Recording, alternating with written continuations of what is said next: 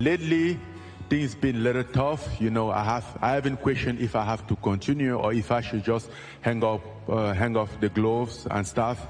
But then I realized that uh, that could be should be a purpose for me. You know, like I didn't have a chance to fight for my son, man. So I think this is it. Thank you, Francis. Appreciate that. É um cara que tá passando por um ano difícil aí, mais difícil ainda é, é o que ele tem pela frente. Ele sabe que ele tem um grande problema e vai ser muito difícil de resolver.